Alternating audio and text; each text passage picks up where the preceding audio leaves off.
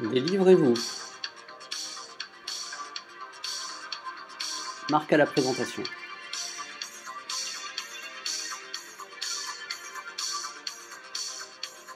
Bonjour à tous, bienvenue dans le 17e numéro des Livrez-vous que vous pouvez retrouver sur le blog Culture Tout Azimut et sur YouTube. Marc au micro pour vous accompagner dans cette nouvelle émission. Ravi de vous retrouver après une longue interruption. À mes côtés aujourd'hui, je salue mes chroniqueurs fidèles, Louise et Gabriel. Bonjour à tous les deux, comment allez-vous? Euh, très bien. Bonjour, euh, ça va très bien aussi. Alors sans plus tarder, place au générique et à la première partie des Livrez-vous avec le livre du jour.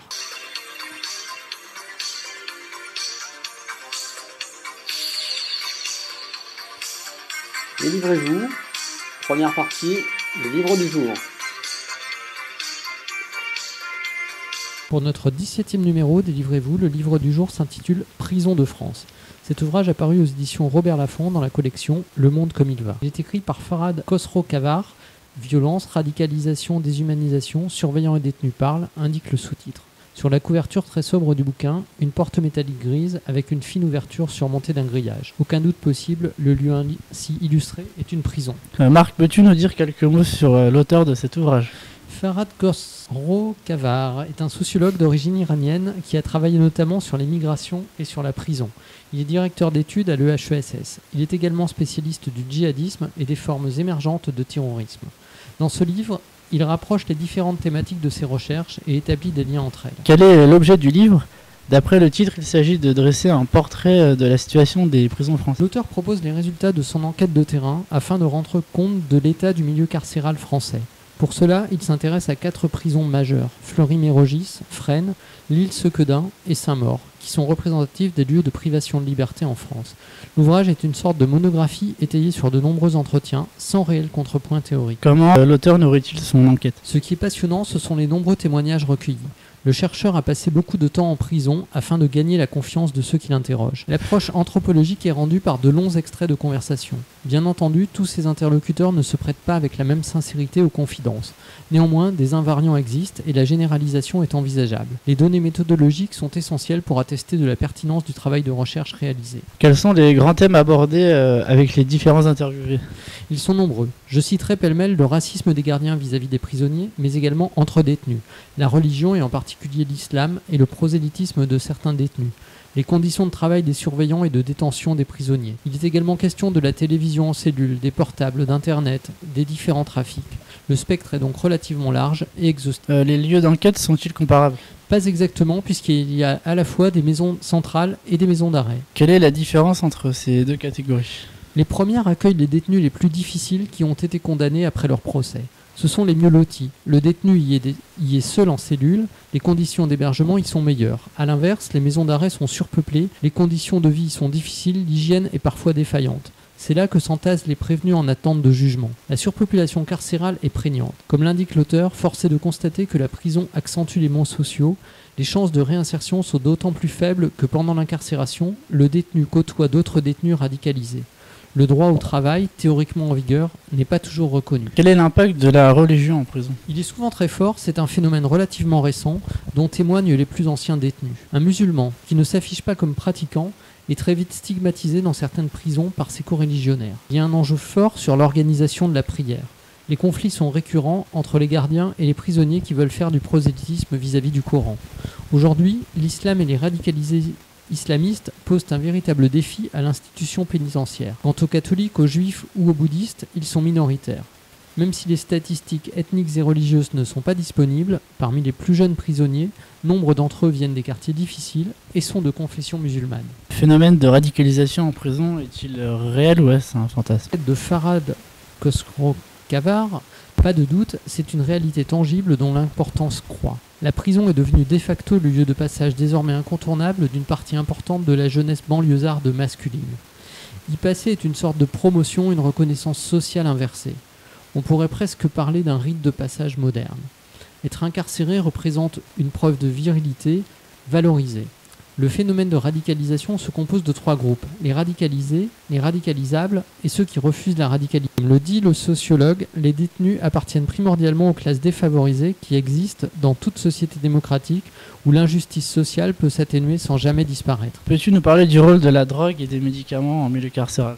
Le shit circule en prison, l'administration le sait et le tolère.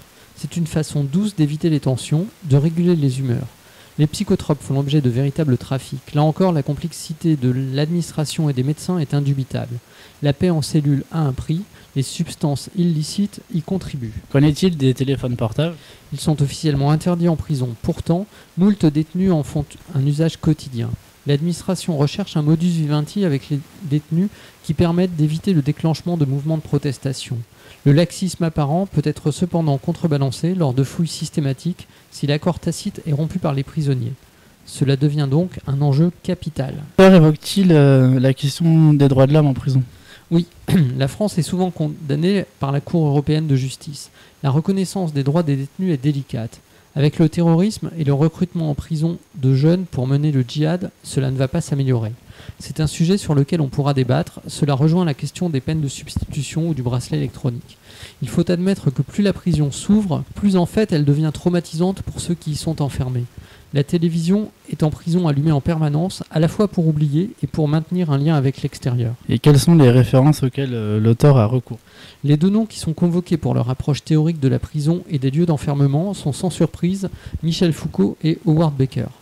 Ils ont tous les deux écrit des ouvrages fondamentaux dont la lecture est indispensable pour bien comprendre et analyser ce qui se joue en prison. Je citerai en particulier Surveiller et punir de Foucault. Cela me semble être un excellent complément à l'essai dont j'ai rapidement résumé les principaux enjeux. Je citerai aussi L'ombre du monde, récente enquête de Didier Fassin, dont vous trouverez une chronique sur le blog. Je vous propose, chers chroniqueurs, après cette présentation rapide du livre Prison de France, que l'on passe à la première question de notre débat. On va commencer par s'interroger sur l'enjeu de l'emprisonnement massif dans une société comme la nôtre. Oui, donc en effet, on peut dire qu'aujourd'hui, il y a donc un enfermement massif parce qu'actuellement, euh, il y a quand même 58 700 places pour 70 000 détenus. Euh, sachant que si on se tient en rapport Rimbourg sur l'encellulement individuel de 2014, euh, entre 2009 et 2014, déjà, il y avait une augmentation de 7 000 détenus. Donc il y a de plus en plus de détenus, il y a de plus en plus, euh, notamment dans les maisons d'arrêt, parce que si on, voit les maisons d'arrêt, c'est quand même des conditions euh, d'hygiène déplorables, euh, un entassement massif, contrairement aux maisons centrales, qui sont pour les détenus les plus difficiles, et les maisons d'arrêt pour ceux qui sont en attente de jugement. À côté de cela, on peut dire aussi qu'il y a quand même souvent, enfin moi je fais souvent la corrélation avec les HP parce que des fois ça peut porter à confusion que dans des HP il y ait des personnes qui puissent, euh, par exemple des, gens qui sont faits pour la prison qui se font passer pour fous pour aller en HP et inversement. Euh, oui, excusez-moi, oui, hôpitaux psychiatriques. En fait, bon, mais des deux côtés, c'est un petit peu la merde pour, euh, donc pour les détenus. Et donc, devant le manque de 10 000 places, il y avait déjà, en octobre 2016, Manuel Valls qui avait annoncé le lancement d'un programme immobilier pénitentiaire. Donc, l'objectif, c'est atteindre entre 10 000 et 16 000 cellules en 2025. Euh, sachant qu'il y a plusieurs candidats à la présidentielle, euh, notamment Marine Le Pen et Macron, qui ont proposé ce genre de choses. Donc je sais que Marine Le Pen, elle, elle voulait 40 000 places, bien évidemment, et Macron en voulait 15 000. Et il y a un gros problème aujourd'hui euh, par rapport au nombre de places aussi, c'est le principe de l'encellulement individuel qui a été créé en 1875 qui est le principe selon lequel euh, si un détenu réclame d'avoir une cellule individuelle, l'État est obligé d'en fournir. Sauf qu'aujourd'hui, ce principe n'est pas du tout respecté. Donc moi, je serais pour l'augmentation des places en prison, même si je pense qu'effectivement, il y a d'autres moyens pour les détenus, à part la prison, de pouvoir se réinsérer en société. On va pouvoir en discuter. Je vais laisser la parole à Gabriel. Juste euh, la question pour enchaîner, c'est... Faut que je réponde à celle-là déjà. Mais euh, enfin, Louise a bien résumé déjà. Comme tu l'as dit, avec 68 000, euh, 68 000 Euh, environ personnes incarcérées, 58 700 places pour 70 000. Ouais, c'est ça. euh, 68 000 de personnes incarcérées pour 57 000 places environ, enfin 58.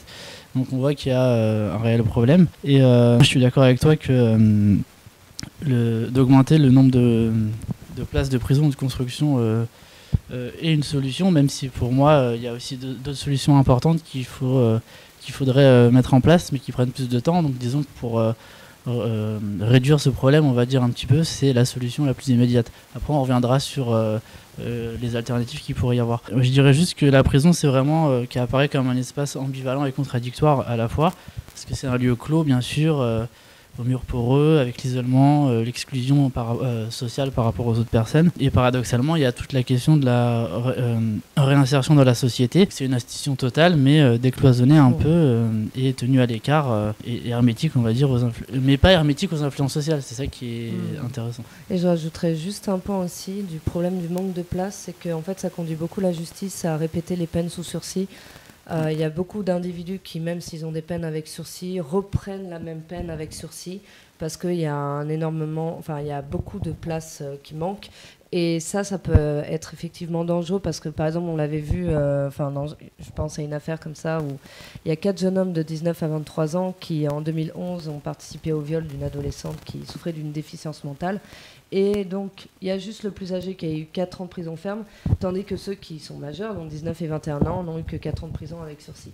Et on voit beaucoup de, crimes comme ça qui, peuvent potentiellement se répéter à cause du manque de place et du sursis. La question que je voudrais vous poser, c'est vous, on a vu la problématique, on peut construire davantage de places pour essayer d'améliorer les conditions et permettre aux détenus d'être dans des cellules individuelles. Mais est-ce que le risque, si on construit davantage de places, et c'est un peu ce que tu suggérais aussi, Louise, dans ton dernier commentaire, est-ce qu'on va pas arriver à emprisonner davantage? Et qu'est-ce qu'on veut comme société? Est-ce qu'on veut une société dans laquelle on emprisonne de plus en plus, un peu à l'américaine hein? Je, juste pour exemple, on, on a des villes, je pense au Texas à Huntsville, pas très loin de Houston, qui ne vivent que par et pour la prison. C'est-à-dire que 80% environ des emplois de la ville sont créés autour des prisons, parce qu'en l'occurrence à Huntsville, il y a beaucoup, beaucoup de prisons.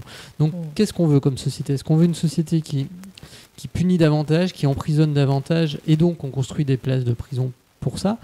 Parce que j'ai du mal à croire, mais ce qui m'intéresse, c'est ce que vous en pensez, que si on construit davantage de places, on va pas les utiliser pour emprisonner davantage. Et Mm. donc un continuer dans le cercle vicieux de Ouais. la surpopulation. Louise, qu'est-ce que tu en penses? Bah, je suis assez d'accord, sachant que si on prend des prisons comme Fleury-Mérogis, c'est quand même euh, la, jeune- la jeunesse banlieusarde qui s'y retrouve, et que c'est quand même des gros problèmes d'éducation qui persistent, qui font qu'elle s'y retrouve, et qu'il y a aussi cette idée de passage, en fait ça devient un rituel, euh, une virilité qui, qui s'affirme à travers le passage en prison, le fait de se radicaliser aussi qui n'arrange pas les choses.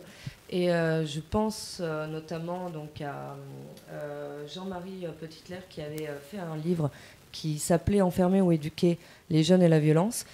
Et lui, en fait, il reprochait le fait, le fait qu'on fasse plus de prévention dans la sanction que dans l'éducation. Et que si on permettait d'avoir plus d'éducation populaire, de donner le moyen à ces jeunes de s'exprimer, euh, d'avoir plus de mixité sociale dans les ZEP aussi, ben, je pense qu'effectivement, il y aura un impact sur les jeunes. Et là, en fait, on ne fait qu'un cercle vicieux à enfermer euh, ces jeunes et à essayer de les calmer, euh, comme on a vu dans l'ancienne émission, euh, à travers le sport, plutôt qu'avec la culture et l'éducation. Je Gabriel sais pas si en augmentant les places, ça augmentera le nombre de personnes, mais c'est pas à la carte non plus. hein. Les gens ils font pas plus de crimes parce qu'il y a plus de places. c'est- Mais après, oui, l'État pourrait peut-être en mettre plus, mais moi, je suis pas sûr parce que même en mettant 30 000 places en plus, vu le nombre euh, déjà de problèmes qu'il y a, euh, ça permettra déjà de, de diminuer un peu le nombre de personnes par cellule.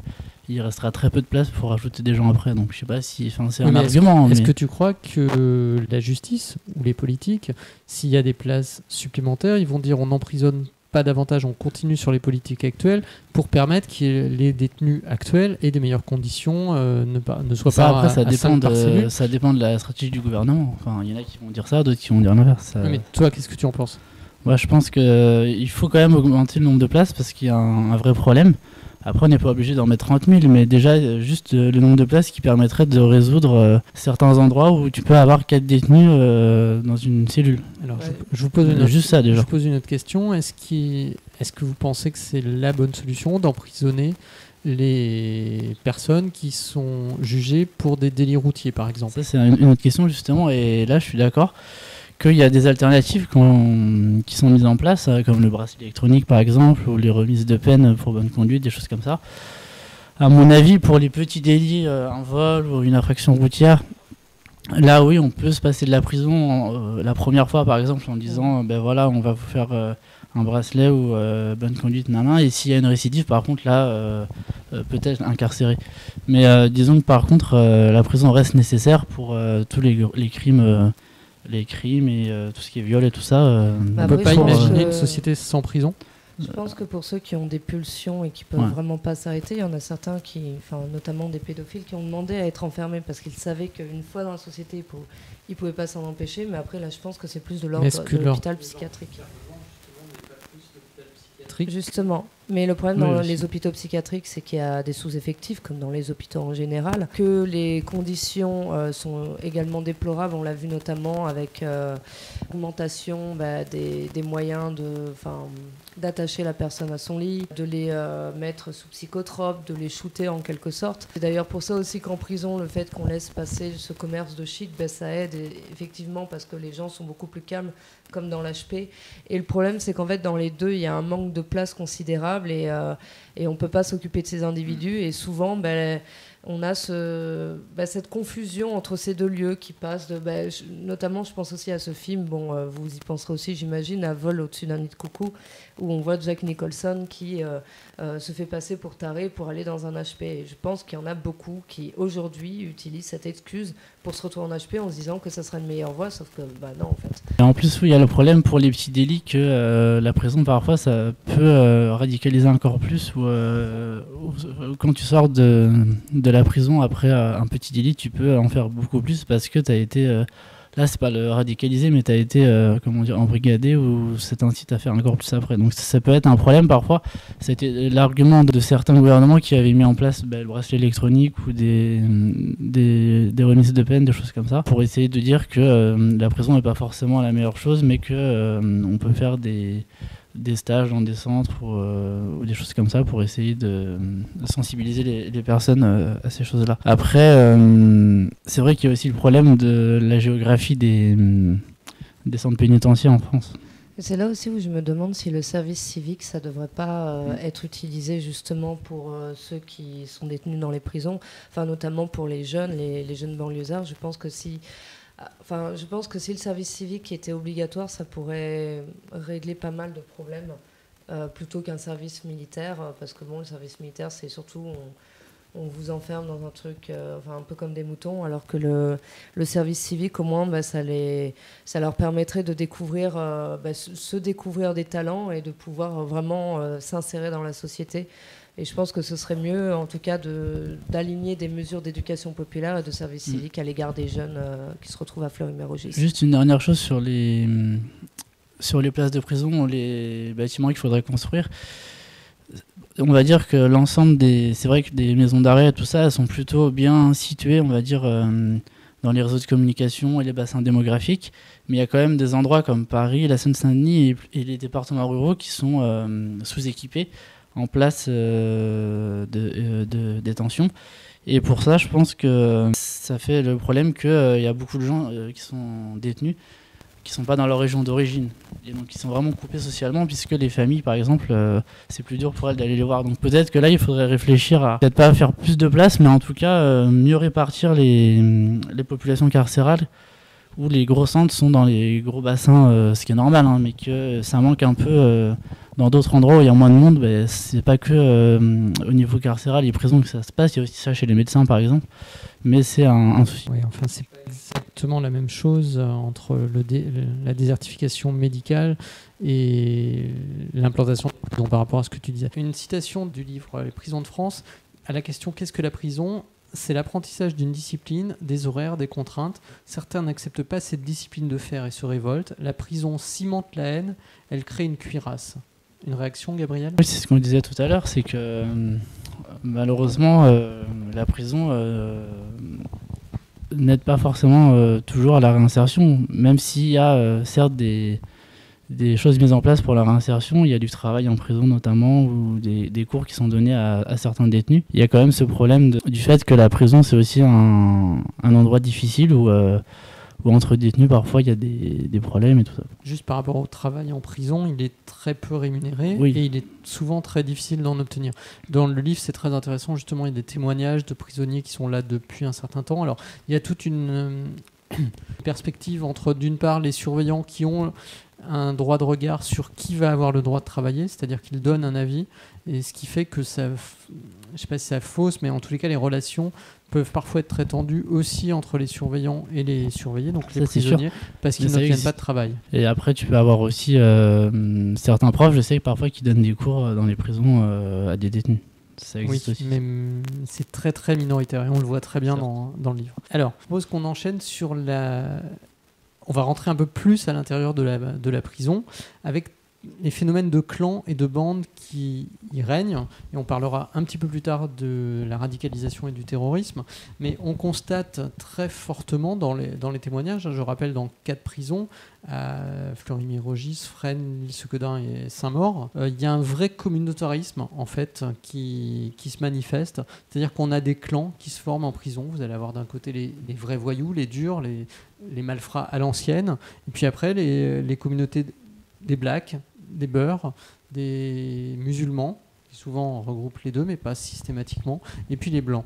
À partir de là, se construit une vie à l'intérieur de la prison. Comme je disais dans la citation en introduction, un musulman qui ne serait pas pratiquant, dans certaines prisons, il est totalement stigmatisé par les gens de la même religion. Gabriel. Non, mais oui, de toute façon, c'est c'est normal. euh, c'est- la prison, c'est le reflet de la société, mais en, en comité restreint. C'est-à-dire qu'il y a ces problèmes-là euh, aussi dans la société, mais comme là, tout le monde est au même endroit, ça, ça, ça ferme ces problèmes-là. Comme tu dis, il y a des problèmes euh, au niveau de, ethnique, religieux, donc euh, en, en fonction des communautés.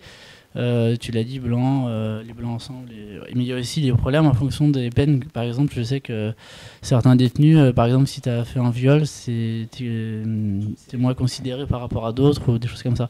Donc il y a vraiment tout un ensemble. Il y a des clans qui se forment au niveau ethnique, au niveau social aussi, et au niveau euh, en fonction des peines que tu as faites. Euh, et souvent, euh, ça pose des problèmes aussi, euh, des bagarres. Ah ouais, je pense effectivement qu'il y a aussi une hiérarchie qui se fait au sein de la prison entre, bah, entre ceux qui, on va dire, s'imposent par rapport aux peines, qui, enfin par rapport aux anciens et par rapport aux nouveaux. Euh, qui a aussi cet aspect bah, effectivement très communautaire où, où bah, euh, les blancs ne vont pas forcément parler aux blacks parce qu'ils pourraient se faire rejeter et inversement. Donc c'est vrai qu'il y a quelque chose qui est assez primaire dans les comportements où on crée des mini-sociétés et notamment effectivement c'est vrai qu'il y a ce conflit de religion, il y a du prosélytisme et où effectivement il y a, de la pression sur euh, euh, ceux qui, bah, on va dire, ne sont pas aussi ancrés dans, la, religion, notamment l'islam, euh, que ceux qui euh, peuvent être la plupart euh, des salafistes ou d'autres des djihadistes. Après, c'est normal qu'il y ait des clans aussi à partir du moment où il y a ces problèmes-là, puisque souvent, il vaut mieux être en groupe pour être protégé, entre guillemets, alors que quand tu es tout seul, tu peux parfois avoir des problèmes. Donc il y a ce problème-là qui fait que les clans se multiplient, puisque les gens préfèrent être en groupe à 5-6 pour euh, pouvoir mieux se défendre. Il y a ça aussi quand même. Oui, sachant que tu as sans doute raison, mais c'est un peu étrange dans un qu'en prison on ait besoin de se défendre. Oui, mais c'est du fait qu'il y ait des clans justement et des problèmes ethniques qui fait que si tu es tout seul, tu peux euh, vite. euh, alors que si tu es avec un groupe, tu as plus de chances d'être entre guillemets protégé. Ça rappelle Pour par les plus exemple faibles, quoi. Le, le film de Jacques Audiard, Un prophète. Je sais pas si vous l'avez vu ou à l'intérieur d'une prison, c'est à Marseille, je crois. Il y a des, des clans comme ça qui se forment avec des, des choses très dures. Ça, c'est un problème universel. hein. Euh, aux États-Unis, c'est pareil, euh, dans beaucoup de pays. Oui, enfin, à mon sens, le- par rapport à la prison, les États-Unis sont tous sauf un modèle à suivre. Oui, on est d'accord. Mais... Après, ce n'est qu'un avis personnel. Surveillant de prison, un métier qui fait rêver ou un métier qui fait peur? Métier difficile en tout cas. J'ai rencontré qu'un journaliste euh, donc, euh, dans mon école de journalisme au CFPJ qui en fait a fait. euh, donc lui, en fait, ce qu'il a fait, c'est qu'il a. Enfin, une fois qu'il a eu son diplôme de journalisme, il a passé des concours pour être euh, gardien de prison. Il a passé vraiment un an à faire ses concours et à aller dans la prison. Il a travaillé pendant un an en tant que gardien. Chaque jour, il a pris des notes. Et en fait, le but, c'était sortir un livre. Euh, je crois que son livre s'appelle Dans la peau d'un maton ou quelque chose de ce genre. Et euh, en fait, c'est extrêmement difficile parce qu'il y a une très très forte affectivité entre les détenus et les gardiens, où il y a ce jeu de victime et bourreau, où euh, les gardiens sont bien conscients qu'il y a des conditions d'hygiène euh, qui sont euh, assez dégradées, qu'il y a un manque de matériel, qu'il y a des droits qui sont bafoués, ils sont conscients de toutes ces choses et hélas ne peuvent rien faire.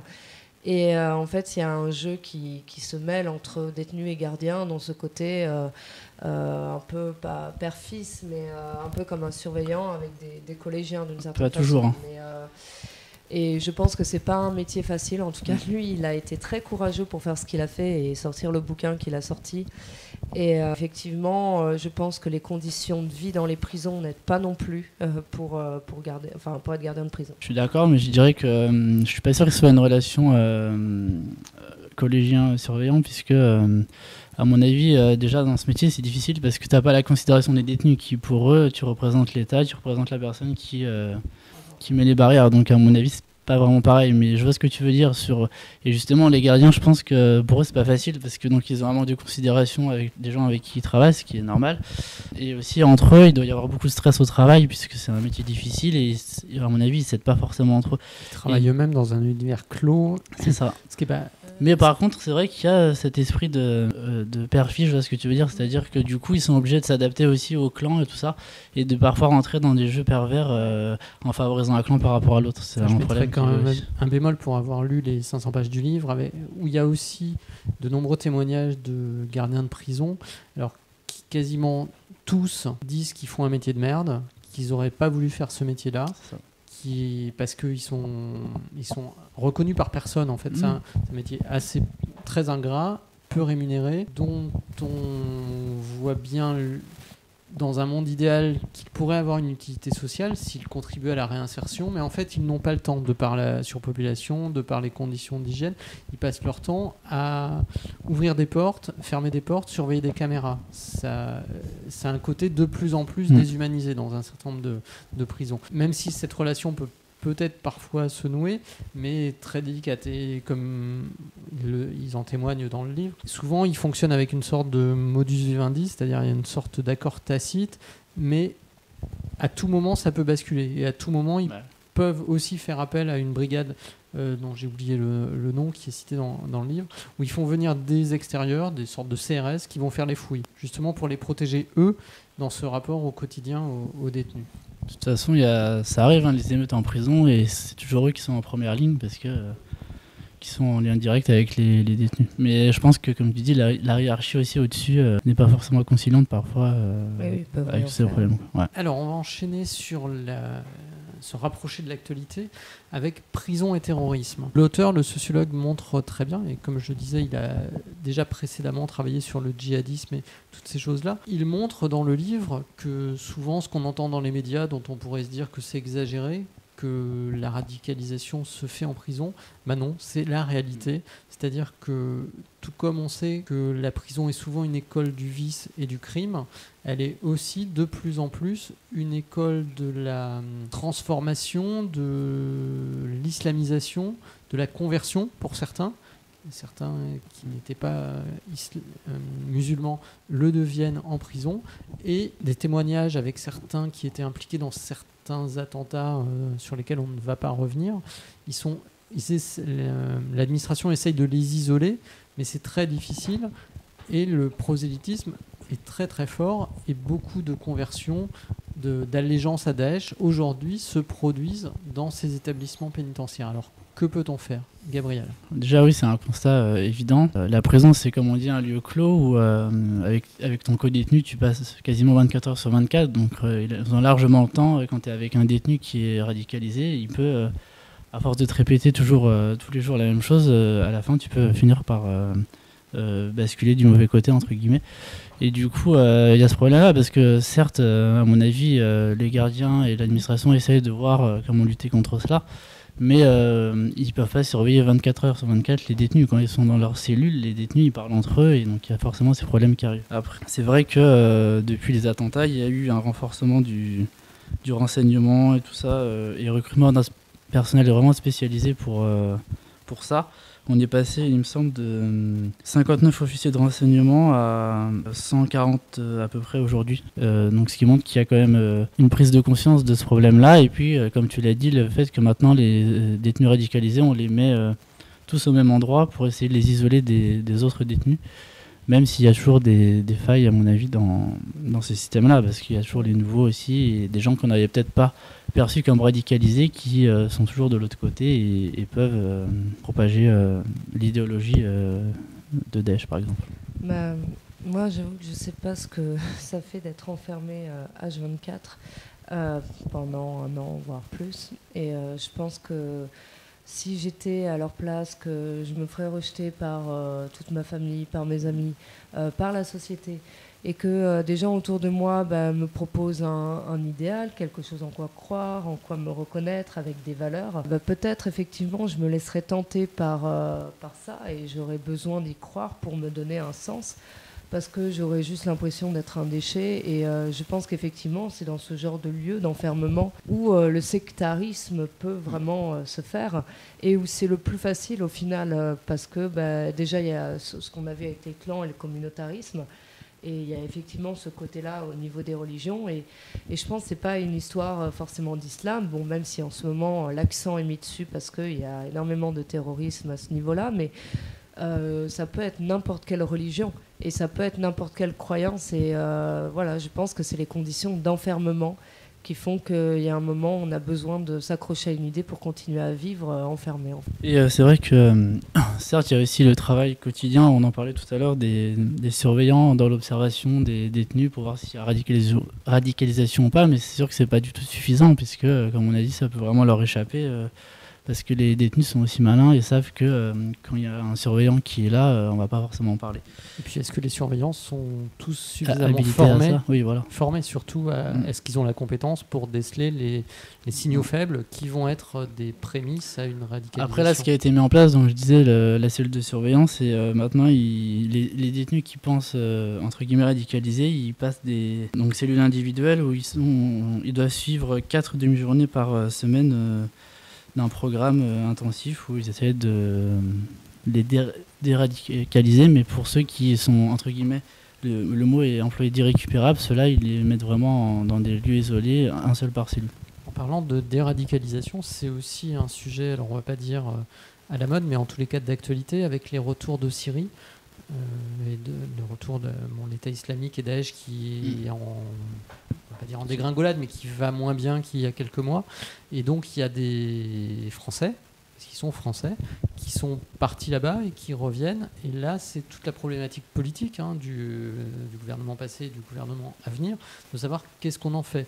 Est-ce qu'on peut ne pas les incarcérer? Ça semble difficile, puisqu'on sait qu'ils ont été des petites mains ou des grandes mains de Daesh en Syrie. Donc quand ils reviennent, même s'ils disent revenir avec les meilleures intentions, je pense qu'on a toutes les raisons de s'en méfier, jusqu'à être absolument sûr qu'ils ne constituent plus un danger. Le terrorisme, on l'a tous vu, hein, ce sont souvent des choses latentes qui attendent, qui attendent, qui attendent, souvent à bas bruit, et puis tout d'un coup ça émerge et puis ça, fait des attentats. Donc ces, ces retours de, de Syrie, qu'est-ce qu'ils vont en faire, d'après toi Gabriel, et puis Louise après? Bah, déjà, on a évolué là-dessus parce que le terrorisme a évolué. Par exemple, par rapport au terrorisme euh, d'Al-Qaïda en 2001 et le terrorisme de Daesh, c'est pas du tout la même chose. Et euh, au début, c'était un terrorisme qui était organisé euh, par une organisation. Et maintenant, on s'aperçoit, comme tu dis, que c'est parfois des des actes préparés, mais après, on revient dans le pays, on se, comment dire, on se camoufle et ensuite on ressort.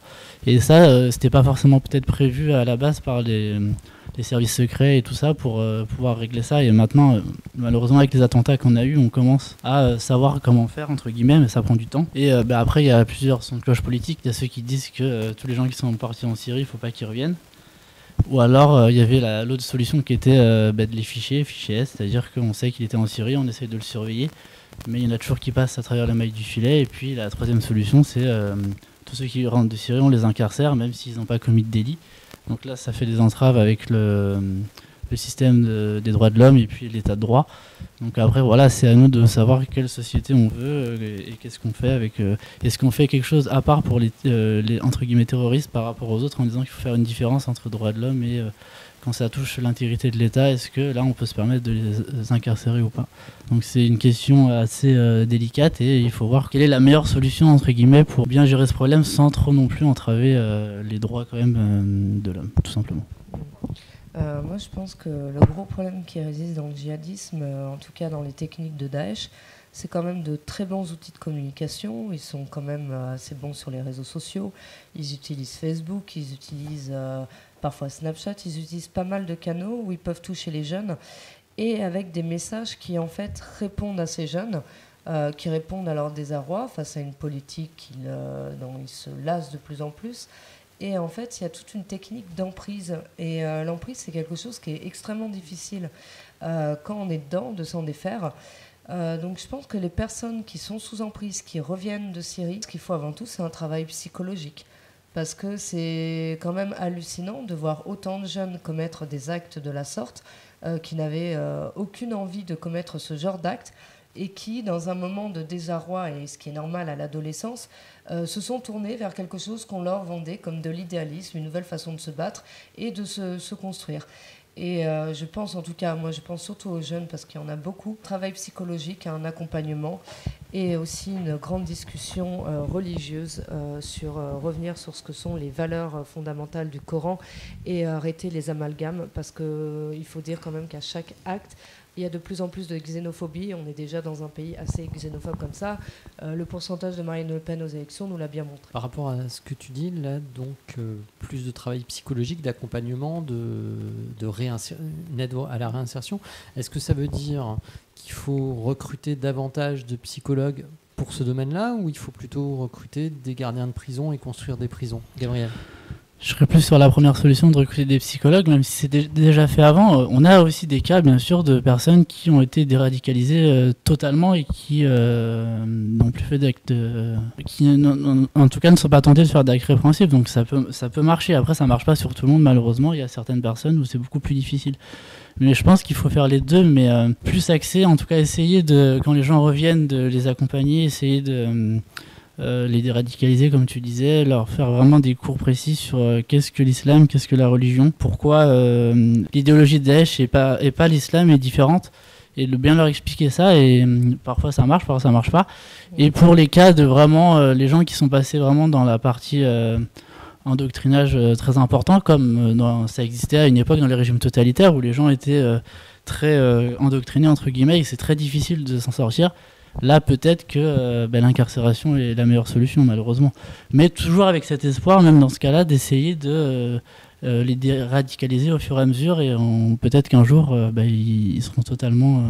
Après, c'est vrai que c'est très complexe parce qu'on change leur vision du monde, on leur laisse penser que tout a été un complot, en fait, que leur monde entier réside sur un complot et qu'ils ont tout à revoir, tout à refaire. Et moi, ce qui me fait peur, c'est aussi, même si je suis pour l'accompagnement psychologique et la discussion euh, par rapport à qu'est-ce que l'islam, qu'est-ce que le Coran, euh, j'ai envie de dire qu'il y a un moment donné où effectivement pour ces jeunes ça va être extrêmement difficile parce qu'ils vont sans doute pour la plupart d'entre eux penser qu'on essaie de les, les.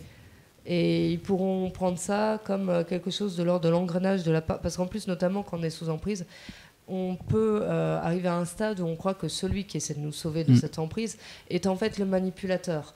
Euh, ça peut aller très loin. Euh, donc c'est pour ça qu'il faut y aller avec des pincettes et je pense qu'il faut vraiment former beaucoup de psy par rapport à ça. Il y a le phénomène de la rechute, hein. c'est comme quand on prend de la drogue par exemple ou qu'on arrête de fumer, il y a une étape où parfois il y a des gens qui rebasculent parce que c'est pas toujours facile de, de résister à ça et donc forcément il y a ces problèmes-là. Oui, donc la question c'est est-ce qu'on peut être sûr à 100% un jour que quelqu'un est déradicalisé et ne ressombrera jamais dans ces... C'est difficile à dire ça. Peut-être qu'il y en a certains oui et d'autres non, euh, c'est pas facile. Après, est-ce que euh, ça revient, rejoint pas la question de est-ce sur un domaine différent, quelqu'un qui a purgé sa peine, euh, éventuellement une peine longue, est-ce qu'on considère qu'il restera et donc il a, il a payé à la société ce que la justice a estimé qu'il devait payer à la société? Est-ce que derrière on croit en l'homme avec un H majuscule et à une sorte de rédemption? Ou est-ce qu'on dit que la personne sera à tout jamais coupable de ce qu'elle a fait? Moi, je pense qu'il faut croire en l'homme. Après, euh, il y a toujours des cas, euh, des figures euh, différents, euh, des milliers de cas. Il y a des gens qui, après la casse prison, n'ont plus jamais refait d'actes répréhensibles. D'autres, malheureusement, qui récidivent, qui refont. Sachant Donc c'est très difficile de savoir. Les statistiques le montrent que justement, passer par la case prison, Mm. ça multiplie les chances de récidive. Tout à fait. Après, peut-être que le meilleur mot, ce qu'il faudrait répondre, c'est il n'y a pas de risque zéro que ça recommence pas, mais qu'en en tout cas, il faut que l'État et l'administration fassent tout son possible pour euh, accompagner, encadrer, euh, éduquer aussi pour euh, que il y ait le moins de risques possible que ça recommence, même si c'est pas quelque chose qui est inévitable. Par rapport au terrorisme, l'administration, comme tu dis, le pouvoir politique a mis en place les fiches S. Les personnes qui sont fichées S, est-ce qu'il faut toutes les exclure, toutes les sortir de France, ou au contraire, il faut juste les surveiller Et certains, on parlait des élections présidentielles, proposaient d'enfermer tout le monde ou de mettre tout le monde dehors, à l'étranger. Alors. à l'étranger? Là, ça dépend. On pourrait leur répondre que tous les fichiers S ne sont pas dangereux, parce que je rappelle que pour- on peut être fiché S euh, simplement si, on, par exemple, on a hébergé un terroriste. Mais certaines personnes, par exemple, ça peut être un ami de longue date et on ne sait pas forcément. Les familles, par exemple, des, potentiels djihadistes sont aussi fichés S parfois. Donc, il faut voir euh, à quel degré cela se passe. Si c'est une solution, d'accord, mais dans ces cas-là, il faut le faire vraiment pour les cas les plus dangereux. Il y a un gros problème quand même par rapport à ça sur le plan numérique, c'est que supposons, bah, je suis là, je suis un journaliste, je dois faire des recherches sur le djihadisme, je vais sur plein de sites, sur des sites sources, je vais sur des forums pour comprendre qu'est-ce qui se passe euh, dans leur mentalité, comment ils en sont venus à penser comme ça et qu'est-ce qu'ils peuvent dire. Euh, on va quand même euh, bah, en fait me ficher S parce que je vais sur ce genre de site. Et c'est là où il faut voir les limites parce que même sans être journaliste, quelqu'un qui serait juste curieux, qui aurait besoin de comprendre, il sera fiché S. Donc faut voir aussi qui, qui est-ce qu'on fiche. Parce que pareil, il y a aussi ce système de réseau où on se dit bah, telle personne est en contact avec ce djihadiste sans forcément le savoir. Donc elle est potentiellement... Et ensuite on monte comme ça, on monte comme ça, de branche en branche. Enfin, on a pu voir notamment enfin, la loi par rapport à l'état d'urgence, elle est quand même sur euh, plein de points de vue au niveau euh, euh, des droits de l'homme, elle est quand même assez extrême. Et sur le plan numérique, je pense qu'il y a vraiment quelque chose à faire. D'ailleurs, on a dit que l'état d'urgence, ça a plus permis de démanteler des réseaux d'armes, des choses comme ça, que d'aller vraiment chercher les, terroristes, parce que voilà, on peut être fiché S en étant un délinquant euh, de trafic d'armes ou des choses comme ça. Donc certes, c'est grave, mais euh, c'est pas un, djihadiste en puissance. C'est quelqu'un qui, à un moment, a aidé la personne à se procurer euh, les armes, certes, mais euh, c'est pas non plus quelqu'un qui euh, va faire un attentat forcément. Donc il y a ces deux poids deux mesures qu'il faut regarder.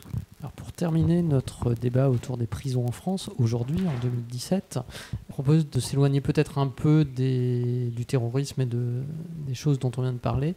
Pour revenir, à- on a eu une garde des Sceaux il y a quelque temps qui s'appelait Christiane Taubira, qui n'est donc pas la garde des Sceaux sortante, mais une garde des Sceaux assez, emblématique quelques années. qui plutôt en faveur d'une politique euh, qui mettait moins l'accent sur l'emprisonnement, qui a souvent été taxé par euh, ses opposants de laxistes. Est-ce que là maintenant on a un nouveau président qui est en train de prendre euh, ses marques et de bientôt former son gouvernement? Est-ce que vous pensez qu'il faut plutôt aller dans le ce genre de politique que prônait Christiane Taubira ou à l'inverse, est-ce qu'il faut revenir vers une politique plus dure, euh, type politique des années Sarkozy? Euh, quand Madame Taubira avait dit cela, elle avait donné deux arguments importants. Elle disait le premier, c'est qu'il y a une surpopulation carcérale et qu'aujourd'hui, si on ne prend pas la décision d'augmenter le nombre de prisons, il faut bien réduire le nombre de détenus. Et que pour elle, elle disait que euh, les petites peines comme les vols ou ces choses-là pouvaient être réglées autrement que par euh, forcément euh, une détention. Et deuxièmement, elle disait que, et ce que tu disais tout à l'heure, que euh, souvent c'est en allant en prison qu'on apprend l'école du vice et tout ça, et que c'était pas forcément la solution pour des euh, jeunes délinquants qui, on va dire, euh, enfin, qui ont fait des délits euh, pas très graves et qui, euh, par la suite, pour- ça pourrait empirer. Donc ces gens-là, il vaut peut-être mieux le- trouver d'autres solutions pour euh, par les exemple, aider les que ça. centres fermés pour Voilà. adolescents. Mais ça, c'est que pour les mineurs, mais pour les jeunes euh, qui ont 18 ans. Après, euh, moi, je pense que le tout carcéral non plus n'est pas la bonne solution. Il y a des pays qui euh, mettent ça en place. Comme tu l'as dit tout à l'heure, c'est pas forcément les meilleurs exemples non plus. C'est pas ça qui fait réduire l'indélinquance. Donc, il y a peut-être un juste milieu à trouver et être surtout efficace dans ce, dans ce cas-là. Bah, moi, ce que je trouve quand même assez hallucinant, c'est d'entendre plusieurs affaires comme quelqu'un qui a volé, euh, je sais pas, une pomme ou n'importe quoi, et qui prend un mois ferme et pas forcément avec sursis. Et euh, de voir qu'il y en a certains bah, qui volent des millions, euh, qui en plus ont une représentativité euh, politique et qui n'ont rien du tout en fait. Et je pense qu'il y a un moment donné, je suis d'accord effectivement aussi sur l'idée que les petits délits ben, ne justifient pas de faire de la prison.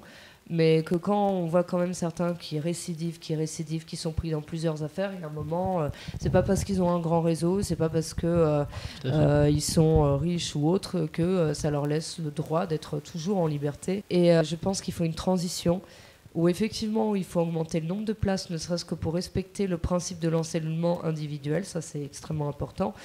Euh, mais en même temps, euh, je, suis aussi dans la continuité de Tobia de permettre plus une réinsertion qu'un emprisonnement. Voilà, ainsi se termine notre débat sur la prison et le phénomène de radicalisation. Nous allons nous retrouver dans quelques instants pour la deuxième partie de l'émission où nous conseillerons idées de sortie, de distraction ou de lecture. En attendant, voici une courte pause musicale. Je vous propose d'écouter un extrait du Pénitencier de Johnny Hallyday. On se retrouve juste après avec Louise et Gabriel.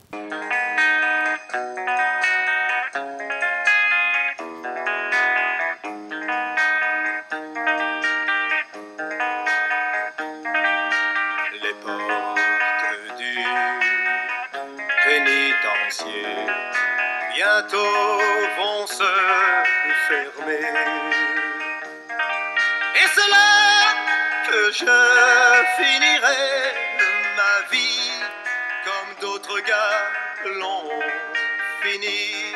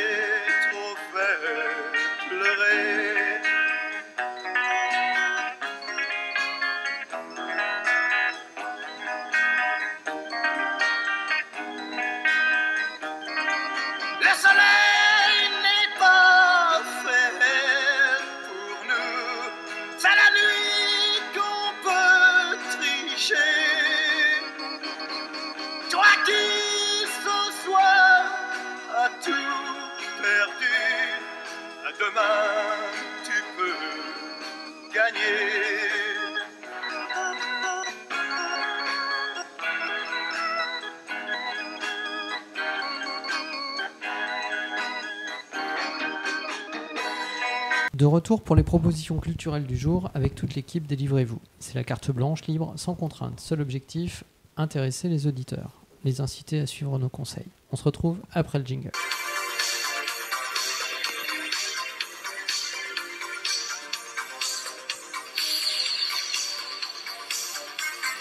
Délivrez-vous. Deuxième partie. Les propositions culturelles de nos chroniqueurs. Alors, on va commencer par Louise et je crois que tu nous emmènes au théâtre. Euh, oui, effectivement. Euh, je vous emmène au théâtre, donc plus précisément à la Folie Théâtre, euh, qui se tient pas très loin du métro République, pour ceux qui connaissent, et qui représente la pièce La mécanique du cœur, qui en fait est à la base un roman qui a été écrit par Mathias Malzieu, qui a notamment réalisé un film d'animation autour de ce roman. Euh, donc cette pièce a lieu jusqu'au dimanche 25 juin. Elle ne coûte pas très cher, c'est surtout du théâtre amateur. On peut la trouver à 11 euros sur euh, Billet Réduc. Et donc la mécanique du cœur, c'est euh, donc l'histoire du jour le plus froid. Euh, le jour le plus froid, ça se passe en Écosse où en fait un, donc Jack est, euh, est né donc euh, des mains d'une sage-femme. Euh, sa mère est une prostituée. La sage-femme s'occupe de femmes qui ont été rejetées par la société et les aide à accoucher. Sauf que c'est le jour le plus froid et son cœur gèle.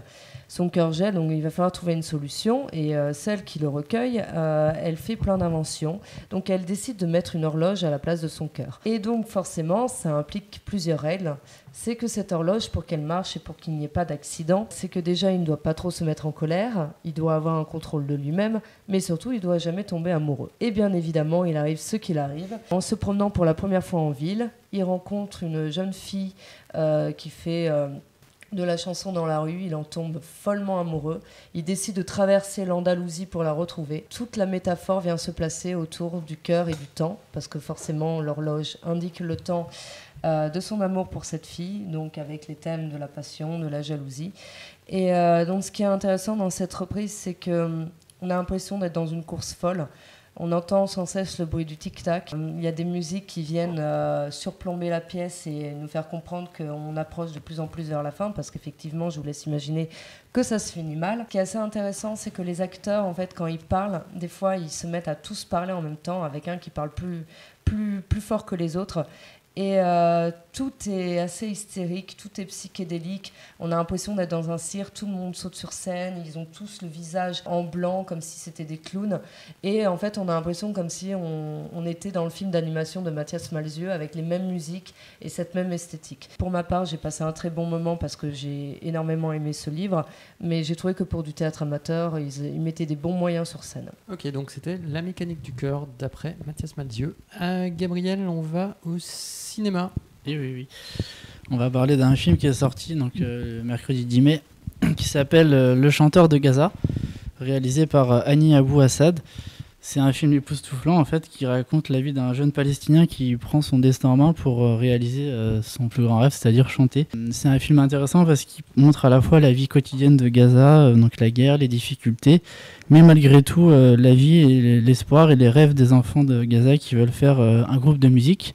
Et donc on voit le manque de moyens, le manque d'instruments.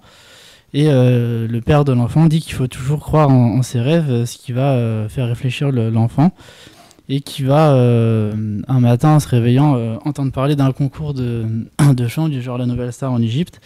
Et ça lance ce- ça lance le film et donc le- l'enfant va, enfin l'adolescent va partir en Égypte pour le concours de chant et ensuite ça va lancer sa fabuleuse aventure d'un jeune homme qui va à travers la, la nouvelle star en Égypte rendre fière toute une région, la Palestine, euh, à travers ce film. C'est une histoire euh, basée sur des, euh, Des faits réels. des faits réels. Ouais. Donc c'est plutôt intéressant, je trouvais, parce que ça montrait bien. euh, on voit à la fois euh, la, situa- le- la situation historique à Gaza avec la guerre et tout ça, mais en même temps la vie quotidienne qui continue, les gens qui, malgré tout, veulent continuer à vivre et à, à croire en des choses. Et euh, à travers euh, un jeune garçon qui représente en, en, euh, sa communauté euh, à l'international euh, par le chant et qui donne un espoir à un peuple. Donc c'est euh, assez intéressant comme film, je trouvais, euh, pour moi en tout cas, dans, dans ce que j'aime bien au niveau de cette idée-là, euh, de croire à ça. Voilà. C'était donc le chanteur de Gaza. Quels sont tes conseils du jour? Alors, pour ma part, je vais aussi vous emmener au cinéma, mais voir cette fois-ci un documentaire euh, de Jean-Stéphane Bron qui s'appelle L'Opéra. Sorti il y a quelques semaines. Alors, l'opéra dont il s'agit, c'est en fait l'Opéra de Paris, avec ses deux scènes principales, Garnier et Bastille. Et donc, le documentariste a filmé dans les lieux pendant plusieurs mois, au plus près, à la fois sur scène, dans le public, avec les administrateurs, auprès du patron de l'opéra Stéphane Listner, auprès de Benjamin Millepied qui était à l'époque directeur de la danse. Et donc c'est un documentaire sans aucun commentaire, c'est-à-dire c'est juste un montage de ce qu'il a vu, ce qu'il a filmé. Des hum, séquences cocasses par exemple quand il y a toute la problématique de faire monter sur scène un taureau qui fait plusieurs tonnes pour euh, qu'il figure dans un des opéras. Il y a aussi un jeune ténor russe qui vient apprendre, à- on va pas dire à chanter, mais à, intégrer une, troupe à l'Opéra de Paris. On voit l'orchestre, on voit aussi, c'est intéressant, tout le travail avec, autour des syndicats. hein. Il faut savoir qu'à l'Opéra de Paris, les syndicats sont très puissants. Il y a régulièrement des grèves et des annulations de, de spectacles. Et là, Jean-Stéphane Bron a filmé pendant les manifestations contre la loi travail, la loi El Khomri. Donc c'est assez intéressant de voir comment la négociation se fait entre le, direction, le directeur des ressources humaines, les syndicats pour garder ou pas euh, les représentations. Donc tout ça, évidemment, beaucoup de musique, beaucoup de danse, et c'est absolument, euh, pour qui aime l'opéra, un excellent documentaire. Louise, je crois que, comme souvent, tu vas nous proposer de regarder une série à la télé. Effectivement. Euh, donc une série Netflix qui euh, est vraiment, enfin moi m'a énormément touchée, qui s'appelle qui s'appelle 13 Reasons Why. Donc euh, l'épisode 1 commence comme ça, où c'est donc le personnage Anna qui parle. en disant Hey, c'est moi que tu écoutes en direct et en stéréo. Là, à travers ta cassette, voilà, tu m'écoutes. Et euh, en fait, elle est, en train de parler euh, donc à celui qui l'écoute, qui est donc le héros de cette histoire, Clay Jensen, qui était son meilleur ami. Cette fille s'est suicidée. Tout le monde en parle au lycée, donc ça revient sur euh, le suicide.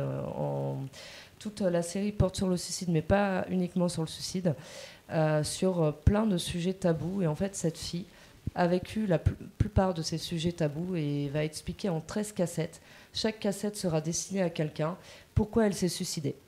Il y aura des petites histoires qui se paraîtront anodines, des histoires qu'on a déjà vécues au lycée, et d'autres qui relèvent du crime et qui expliqueront son suicide.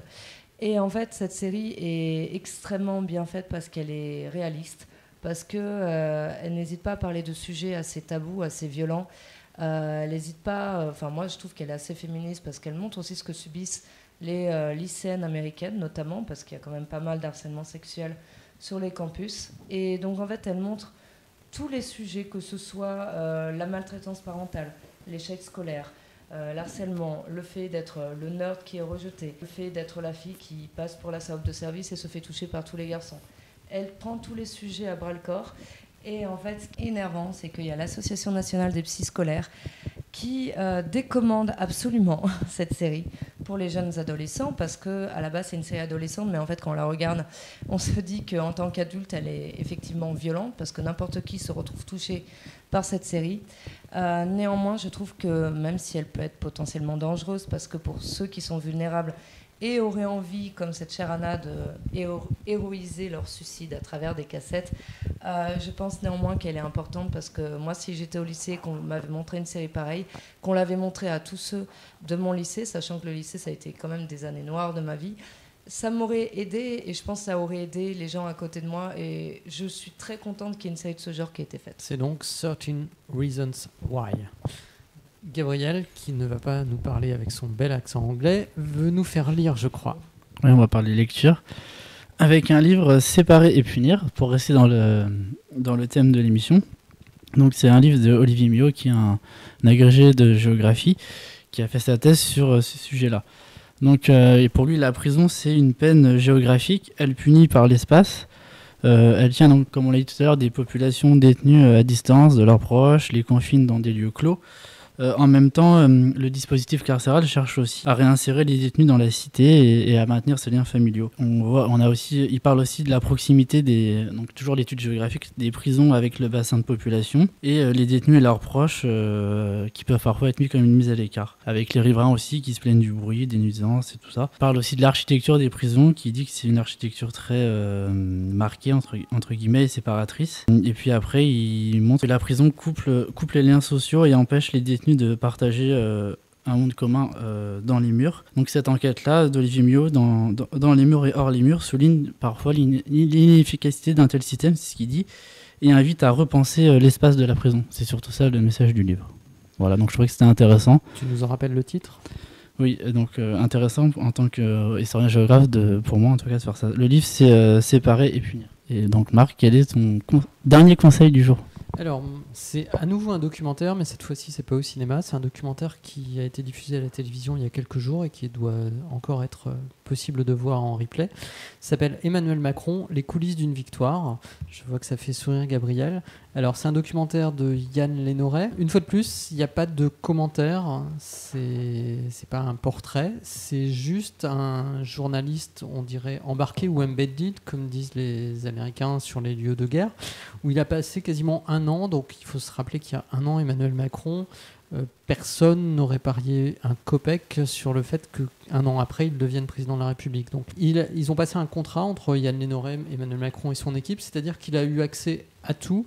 La seule restriction qui était posée, c'est que Emmanuel Macron ne souhaitait pas être filmé pendant qu'il se déplaçait en voiture et le journaliste explique que c'est souvent pendant ces moments-là qu'il en profite pour dormir, pour récupérer. Donc voilà, c'était la, seule contrainte. Donc c'est moi j'ai trouvé ça intéressant. Alors déjà pour la, prouesse d'avoir pu faire ce document, enfin diffuser ce documentaire au lendemain de la victoire d'Emmanuel Macron, donc ce qui montre sans doute qu'il y a eu un travail nocturne assez intense pour finaliser le documentaire. Donc apparemment j'ai entendu qu'il y avait plus de 150 heures qui avaient été filmées, donc euh, avec beaucoup de rush. Donc là, ça nous donne un documentaire d'une heure et demie, assez vivace et qui n'hésite pas à montrer donc Emmanuel Macron dans sa conquête du pouvoir, qui le montre aussi dans des situations plus délicates, hein, par exemple au moment de ses propos sur la colonisation, sur la Guyane qu'il avait qualifié d'île alors que c'est sur le continent sud-américain, dans ses propos autour du mariage pour tous, où il, euh, il pouvait sembler dans une des interviews qu'il défendait la manif pour tous. Et là, c'est intéressant de voir son équipe de communication et de stratégie à l'œuvre pour essayer de, de corriger. Et puis, euh, dans, les, dans les derniers moments, pendant le débat de l'entre-deux tours, avant le, avant le deuxième tour, on voit aussi comment il remotive ses troupes. Et ça permet de voir un peu tous ces conseillers qui, sans doute, de l'ombre vont passer à la lumière. hein. Certains, sans doute, vont intégrer l'Élysée ou les cabinets ministériels, voire même avoir des postes de ministres. Donc ça permet de, les mieux, de mieux les connaître. Puis aussi de, de voir un peu la relation entre Emmanuel Macron et sa femme Brigitte Macron. Et là, je trouvais ça assez intéressant, c'est qu'à un moment donné, elle, elle sait qu'elle est filmée, puisque euh, la caméra forcément est visible, et à un moment donné, elle lui dit qu'elle ne veut pas débriefer avec lui, qu'il y a des choses qui appartiennent à leur intimité. J'ai trouvé ça plutôt intéressant. Donc ça s'appelle Les coulisses d'une victoire, Emmanuel Macron. Voilà, on arrive au terme du 17e numéro des Livrez-vous. Je tiens à remercier mes chroniqueurs qui m'ont encore une fois brillamment accompagné. J'espère, chers auditeurs, que vous aurez apprécié notre débat et nos propositions culturelles. Vous pouvez nous retrouver sur le blog http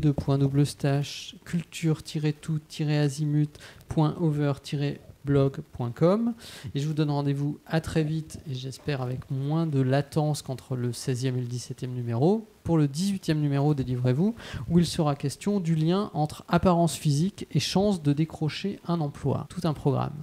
Ciao, à bientôt. Au revoir. Au revoir.